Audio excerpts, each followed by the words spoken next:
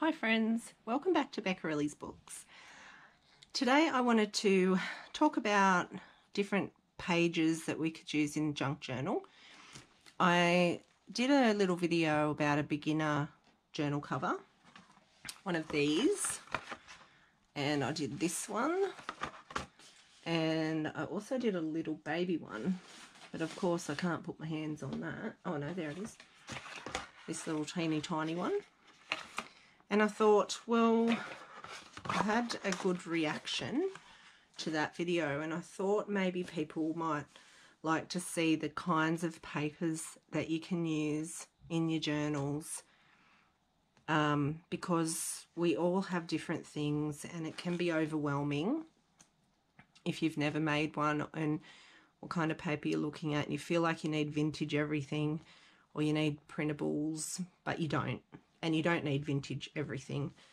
Mixing them together is a really good idea. Um, but this is my um, my little stash. And just keep in mind that I've been collecting paper for over 15 years. so don't feel like um, you need to have a basket looking like this because you don't. And I also work in a school. So I have access to different things and it's an old school that I started in um, four or five years ago and it needed a bit of a refresh the library and the office. So um, I got to grab a few bits and bobs from there. But I'll show you the types of things that I have in here that you can find in op shops and things like that. So First up, we've got dictionary pages, tiny little dictionary pages. These were given to me. We've got simple receipts. Um, you know, these could be your own receipts. These could be ones that you find on Etsy. Uh, you can find them in op shops, in bundles when businesses sort of clean out their stuff, they might just drop a whole heap of stuff in the op shop. Uh, book pages. Now, you might look through your book pages and go, oh, that's a bit boring. But none, none of it is boring. None of it. It might not be to your taste, but it might be to someone else's taste. And when you're journaling anyway, you're covering a lot of things up. So, like this page here, I think it's cool with the date on it, but I don't think this actual paper is that old. It's just talking about that point in time, which is pretty cool. Same with that one. This is a, a flyer, and it's not old, doesn't look old. It's just a little flyer about crops. You can pick things like this up from garden centres, um, and you know places like um, you might go to actually you know where you can pick stuff like that up from? Um, when you go to your supermarket like uh, like a mall or um, a shopping centre they usually have an information board and they might have um, little leaflets and pamphlets and things for different different things. You can pick things up like that. Uh, this is uh, a book page that has been avocado dyed. Probably not an old book page, but it looks old now. Uh, just different book pages. All sorts of books there. Kids books. Kids books are great. If you can find some vintage kids books, this actually came from um, a little golden book.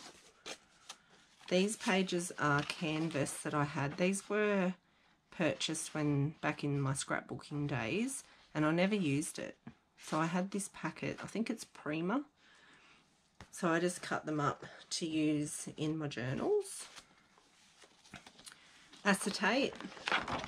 I just folded a piece of acetate that I had lying around in half. These are vellum sheets, printed vellum sheets. plain vellum sheets. Print. Uh, these um, are made from, I think these might have been photocopied and then beeswaxed to, to be like vellum, which they smell beautiful and they look cool. Um, what's this? This is more of an architectural book. So another place you can look for, for old books is your local library. Your library will do a clean out um, of, of books with broken spines, torn covers, anything that's not repairable. Um, they will more than likely give away. But I suggest that you go in and talk to your librarian and ask her or him um, what they do with their books that are destroyed. Um, you know, and if they give them away, ask them if you can have some. They might take your details, give you a call. They might um, just keep a pile ready for you to come back to. Um, don't leave it too long because they, you, yeah, they wouldn't appreciate that. I don't think having to hold on to things for too long. Uh, this These pages are from an old guest book, I believe from the 90s. Came in a pack that I, um, a box that I bought of stuff. Same with that. That came in a swap. So there's another idea do some swaps with people, you might have an abundance of fabric or um, heaps of lace or, you know, lots of something. If you've got lots of something, ask somebody who has lots of something else if they'll do a little swap with you. On Facebook is a good idea. Um, I don't know where I got these from, but these are like a reproduction of a magazine um, wallpaper. Vintage wallpaper can be hard to come by. I have been lucky enough to get two full rolls of vintage wallpaper, which I sell pretty big pieces in my shop, um, in my Etsy shop. I got them from a reuse centre, but I before I found them, I was like, I really want to play with some wallpaper. So I looked on the Bunnings website and I bought a whole bunch of samples. They weren't cheap, they were like five to eight dollars a sample, but they were pretty big. And considering how much we actually use in our craft, I think that was a pretty good deal. Um, so I got like flopped wallpaper and like I got a lot more than that. I got a really big piece. I mean, big, when I say big, what I don't know how big it was, maybe a metre by a metre or something like that. But I cut pieces up. I got this really nice um, shimmery one. Uh, I got this. This is uh, embossed. It's really lovely. And then some of the other wallpapers I've gotten from Etsy. And I've bought wallpaper packs. More book pages from different magazines. Another place to get really a lot, you can get a lot of paper, um, is knitting pattern books. Vintage knitting pattern books seem to be everywhere in around my area. Um, so check out your op shops for those. Uh, I have got some vintage um, diary pages. These came in a Happy Mail or I purchase them. So when you go on Etsy, you can uh, look up vintage paper packs. A couple of shops in Australia that I use are Rosella's and Roses. I just did a haul on my channel, so you can check that out. Um, Bellbird Vintage, she has some really lovely things as well. I'll, I'll link a bunch of shops that I purchased from in Australia. And the other shop that I use, which is in France, to buy my French um, receipts is Excuse My French. And that's Vanessa's shop. She's lovely. Uh, I'm actually waiting for another order from her too. Um, the other thing that you can find in your op shops are vintage recipe books. And you can get pages like whoop, pages like this from vintage recipe books. They might be a bit tattered or whatever. Uh, music. These are community music books. These are the covers. I got a whole bunch of these. That's the back cover. I got these years and years and years and years ago, like before I ever scrapbooked. Um, I don't know why I bought them, to be honest, because I never did anything like this kind of thing. But they were they I was drawn to them and I bought them. I bought like maybe eight of them. Um, and I'm I'm nearly out. so yeah. But I like the covers.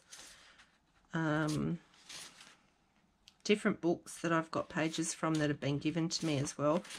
Things like um, old shorthand books or TAFE um, textbooks. So textbooks are something that you can pick up as well. Um, I've got a couple of textbooks from my kids, like old um, maths textbooks and things like that. Those pages are quite interesting. Dictionaries from there as well. They don't have to be super vintage. This book, it was uh, an indoor plant book and I took out all of the really beautiful pages and I have them further along in here. But these are the plainer pages. And I've just put those together so that I can put some of those in as well as these prettier pages. Like this. Uh, this, I think, is some kind of plant book or or um, a dictionary type book. More dictionary. Um, my friend Leanne, she sent, hi Leanne, she sent me a whole bunch of beautiful other language pages out of stuff. Now I have looked in some antique shops at other language books, vintage ones, and they are expensive. But if you really love it, then you think about how many journals you would get out of a $20 book and you just put maybe one page in each signature. You would get a lot of that page in your journal, especially if you're selling them. Um, I still haven't brought myself to buy one, but I've done lots of swaps with people and gotten lots of great um, other language pages as well. Uh, almanacs, if you can find an almanac, they've got some really great pages. Um, what else? Anything botanical, all your botanical books have got great images.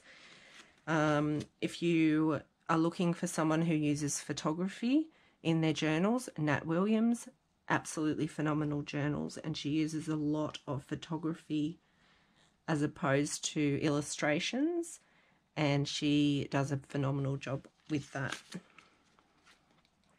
Um, again, the kids' um, vintage learning books. Uh, more of those botanical pages. This uh, this is from a relatively new kids book.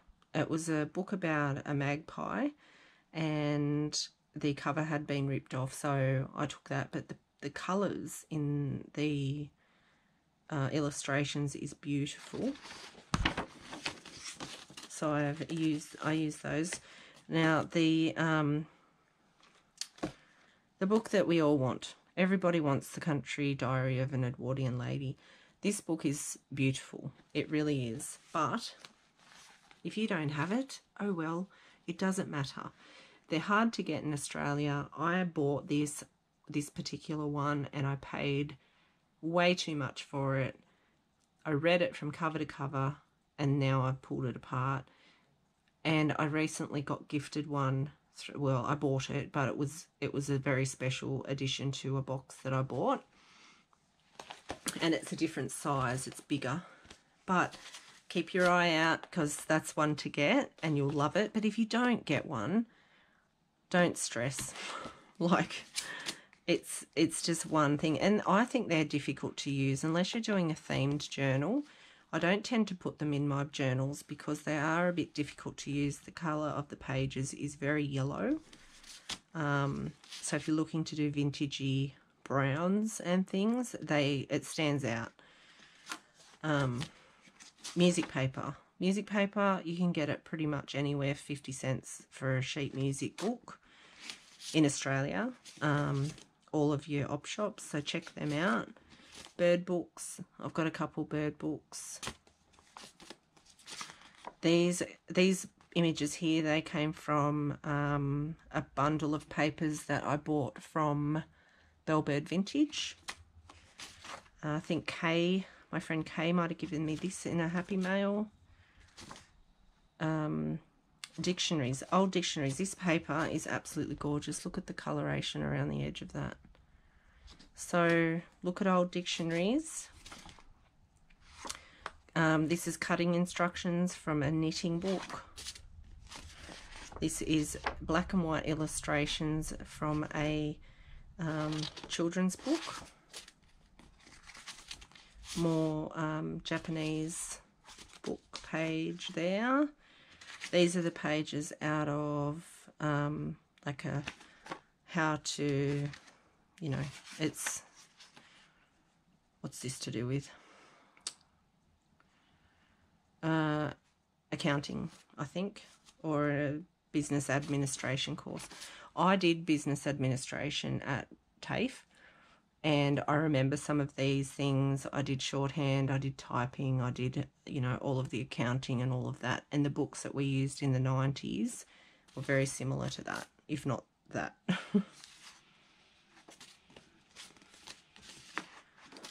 um, so, if you can't find any of this, grab yourself some plain papers. So we'll just flick through. Oh, here, current diary pages.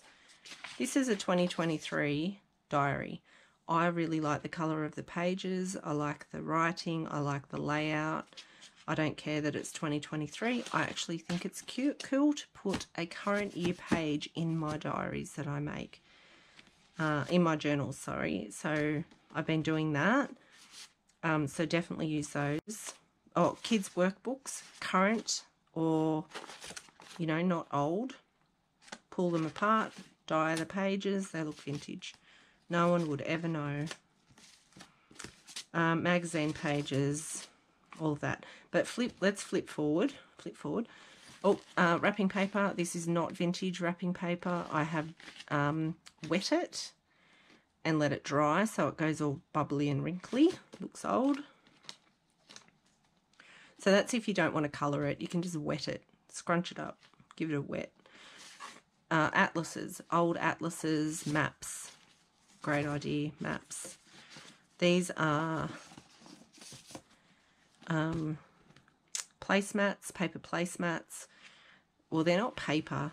I don't know what they are, but they're not real sturdy. But they'll um they'll make pretty pages in a book.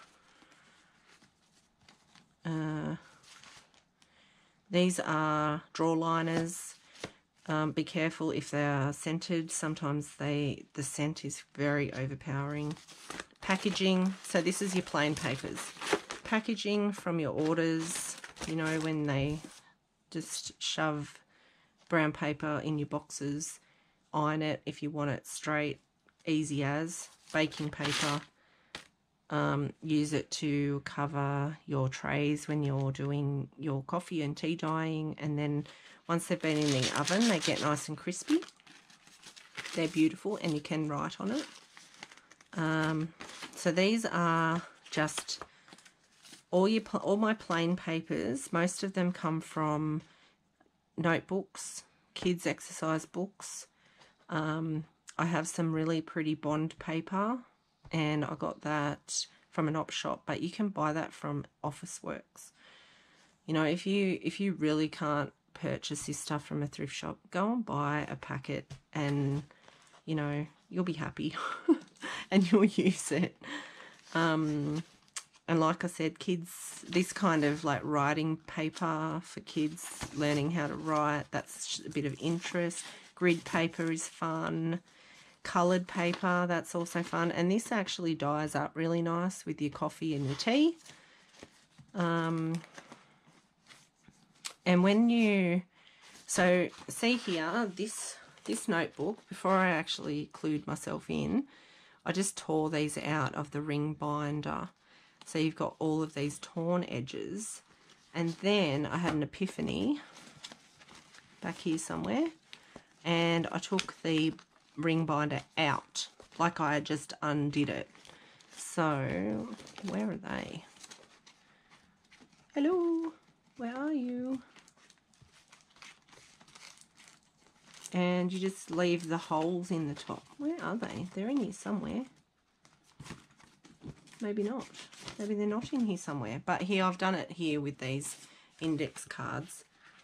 So these index cards were on a spiral. And I've just taken the spiral off so that I can have the, the circles rather than the tear, if that makes sense. And it, they actually look really nice left on there like that.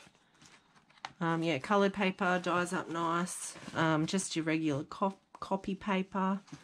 Um, I've shared on my channel, not how to, I didn't do it, but I did talk about um, where to buy these um, placemats from Shein very cheaply.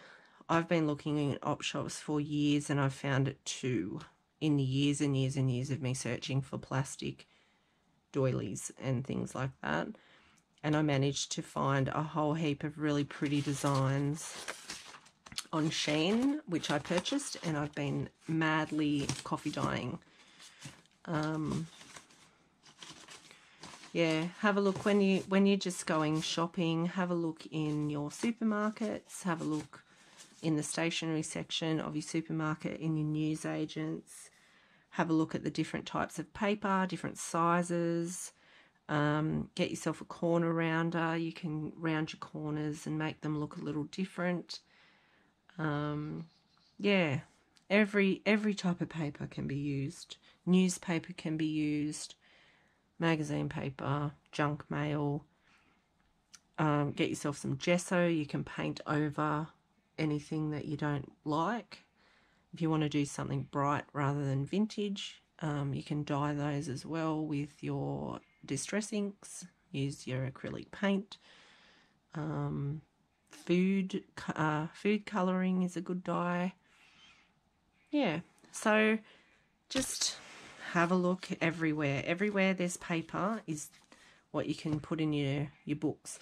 Um, but as I was saying with putting them together, you know, taking some vintage and some new paper and putting them together, um, is completely fine. It doesn't have to be all vintage paper in a vintage book, I don't think.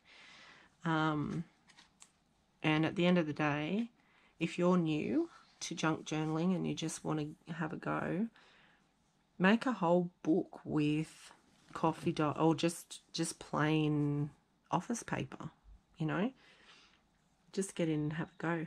Because once you start making them, you'll get better and better at um, all of the processes of construction and you won't feel like you might mess up when you start using your real like coveted vintage papers because I have a few um, really beautiful old um, ledger papers that they're my hoardy papers. I don't want to use them. I've made them into digitals so I don't have to and they work just fine. Like there's another option if you really want to go down that road is digital things and I I buy digitals, scrapbook paper, you know, the list goes on and on and on. Um, but have fun with it and just make one. Just make one because it's addicting. So addicting. I've um I don't know. I don't even know how many journals I've ever made. But um I've made a lot yeah, so anyway, that's my little video for the day. I just wanted to talk about paper.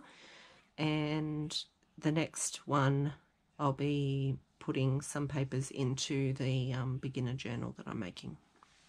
Alrighty. Thanks for joining me for this little chit chat, and I hope you're having a great day. Talk to you later. Bye.